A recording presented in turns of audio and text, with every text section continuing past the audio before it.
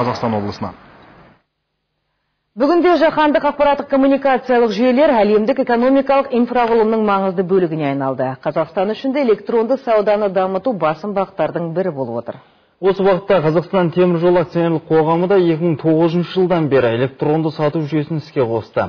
Облыс орталықтарында жол жүру бекеттерінде осы бағыттағы 25 терминал жұмыс істеп тұр.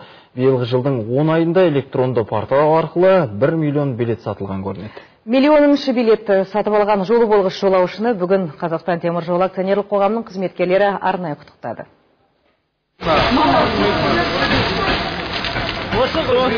Базарбай Бисенғалиұлы электронды портал арқылы миллионыншы билетті сатып алған жолы болғыш жолаушы. Астанаға Қостанайдан қыдырып келіп, қайтарында қыздары электронды портал арқылы билет әперіпті. Билет сәтті шығып, бүгін жолаушылар тасымалдау акционерлік қоғамы қызметкерлерінің арнайы сый сияпатына ие болды. Қуанышы қойнына симаған қария бұндай құрметті күтпегенін айтады. Билетті кеше кеше кешкілік алдық.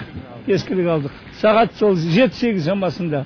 Ал менің билетім осыған түскен екен, ол енді ол да болса бір бақыт шығар, Алланың рахымы шығар бәріне де рахмет осындай сыйлап мені кездескендеріңе. Көп рахмет.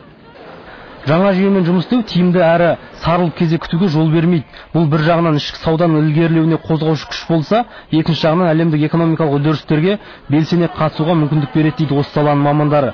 Қазақстан темір жол акционерлік қоғамы үш жылдан бері электронды сатулар жүйесін іске қосты. Интернет арқылы да электронды портал арқылы да билет алушылардың саны күн санап артып келеді екен.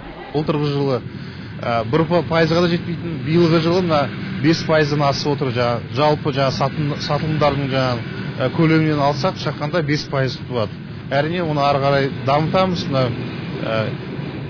сондай үлкен жоспарлар бар. Жаңағы жүйелерді жаңағы ары қарай дамыту жаңағы мына келешекте мына он пайыз жиырма пайыз содан жоғары жаңағы деңгейге жеткізу жандос жұмабек батырбек қаділбек хабар астана.